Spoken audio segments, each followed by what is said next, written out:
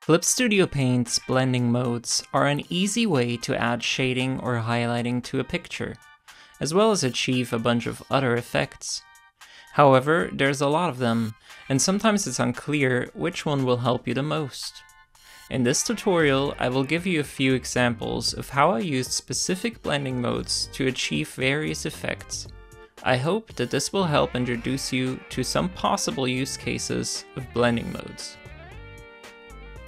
Before I get into my examples, I wanted to share an overview over which blending mode can be applied to achieve which effect. These blending modes are good for shading or creating darker colors.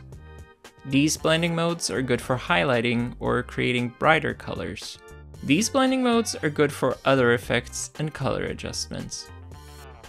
Now, let's examine this drawing of my character Mike. I will show you how I go from this to this. For starters, above the base fill color layer, I created a darker version of the base colors. I often pick colors for shading by hand in order to be able to have very direct input over the colors.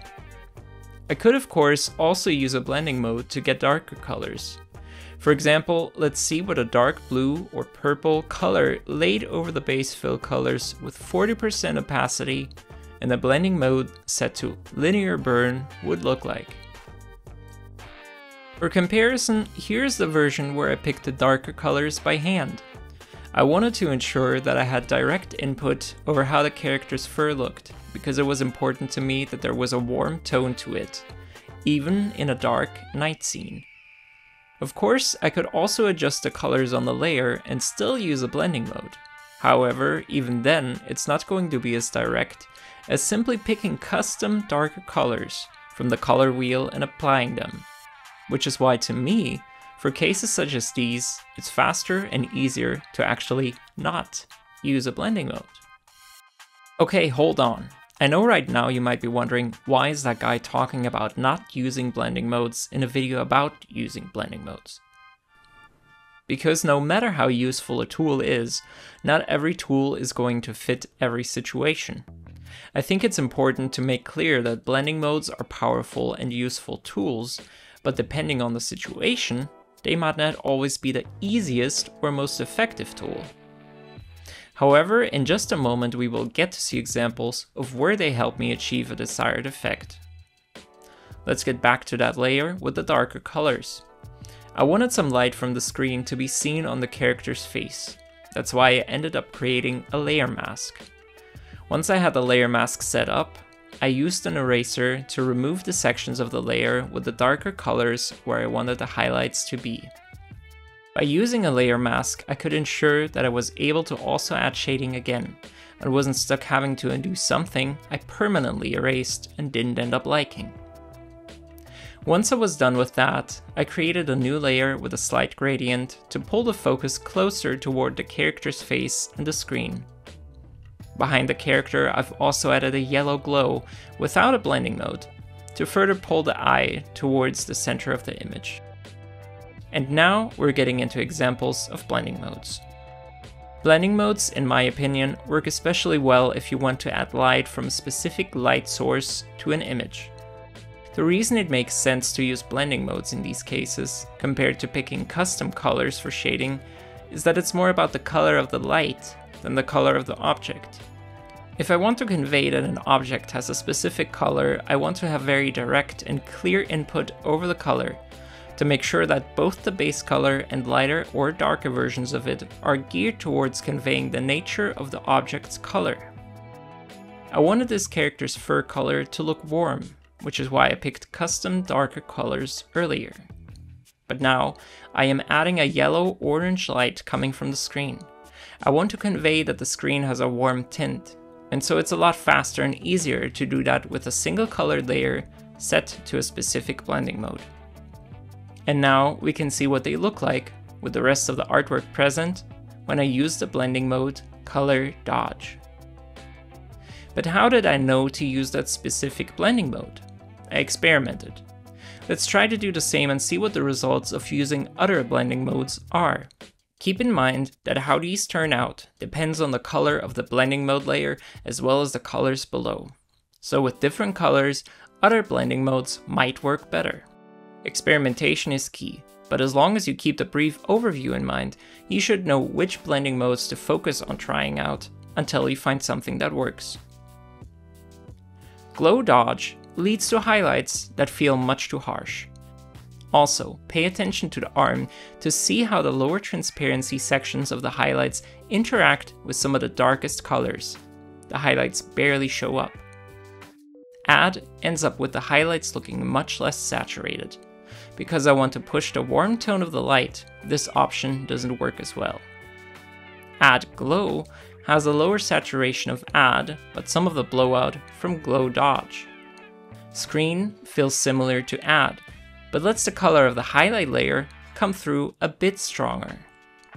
Lighten actually has some really nice colors on the character's clothing. The highlight layer colors come through even stronger, while we lose sight of the character colors. This is especially true in how this blending mode affects the character's eyes and teeth. Hard light feels like a halfway point between the results from lighten and color dodge. Soft light feels like a less intense version of hard light. Overlay feels like a more saturated version of soft light. Maybe you are now able to see why you ended up choosing color dodge in this particular case. Let's move on to analyze the rest of the picture. I created a layer above the line art and added a slight gradient with a darker color. Then I used the clip to layer below option to make sure this darker color only showed up where there was art present on the layer below. This way, I ended up with a darker line art in the sections of the drawing where before there wasn't a whole lot of distinction between line art and fill color. This next layer here uses the hard light blending mode. Let's briefly compare and see what my previous pick, the color dodge blending mode would look like. It feels like color dodge helps highlight the object colors more, but since in this case I actually wanted this layer to serve as creating a warm glow over the artwork to create some ambience, hard light is a much better option. I think this showcases the fact that some blending modes work better to convey the light or shading color, and some work better to convey the object color. At the end of this tutorial, I want to go back to our overview from the start of the tutorial and add information on which blending modes work better in my personal opinion, to convey either the color of the light source or the object. Next up, there is a bit of glow on the metal object here. I used glow dodge, and I think this is a good example of how you simply need to keep in mind what you want to communicate. The way that glow dodge ended up blowing out some of the brighter colors did not work well when the subject was soft fur. Here, the subject is metal, and having blown out highlights helps convey the material. This is why it's important to sometimes just experiment and see which blending mode works well for various use cases. For this final layer, I added one more layer using the hard light blending mode, just to create an even stronger glow and lead the viewer's eye towards the screen. That concludes my first example. Don't worry, the next few are going to go by faster. With all my talk about handpicking colors to convey the color of an object earlier, I want to give an example of a case where I did not follow that principle. Take this drawing for example. The character is wearing a complex patterned shirt. Shading every part of the pattern by hand would not be worth the time and effort nor is the shirt the real star of the picture, so its colors weren't super important to me. I did want to make sure that the character's fur comes across with a specific color and vibe, which is why I did pick the colors for the shading in that section by hand. However, for the shirt and jacket, I just used a single layer with the color burn blending mode. Now keep in mind that you can always go ahead and use a blending mode shading as a mere starting point. If, for example, it was really important to me here that the red on the shirt looked really vibrant, I could always make a new layer above the shading layer, pick the dark red color with the eyedropper tool, then pick a different color in the color wheel, and then use the Fill Refer to Other Layers tool with the Apply to Connected Pixels only and Area Scaling options deactivated, as well as a low tolerance setting. Then click to fill the color in. This way, I now have all the dark sections looking much more saturated and slightly purple. In this final example, I wanted to look at another finished illustration. Here I've used a combination of various blending modes as well as layers without blending modes to achieve the final result. I won't go into a lot of detail this time because I wanted to instead look at some of the blending modes that are more effective at achieving various color effects than being used for creating shading or highlights in a drawing. Let's add a new layer and just fill it with a dark red color as an example. When we set the layer to vivid light, we get an effect that totally transforms the scene. This could be useful if you want to create a look of colored light that fills an entire room, maybe red warning lights on a spaceship or a dark room. Linear light achieves a similar effect, but the brightest colors are subdued compared to vivid light. If you want to have bright objects or elements stand out in a scene, vivid light might be the better option. However, if you are looking for a darker scene and want the color of the light to be more overpowering, linear light might be the better option. Pin light is similar to linear light, but it doesn't darken colors as much. If you have a lot of darker sections you'd like to preserve detail in, this might be a better option. As a side effect of the less darkened colors, pin light however also feels more purple than dark red. Fortunately, there's an easy way to experiment with the color. With the blending mode layer selected, I use the shortcut Ctrl and U, or Edit, Tonal Correction, Hue, Saturation, Luminosity. Let's make sure that the preview option is checked, and now let's simply adjust the values until we are happy with the result.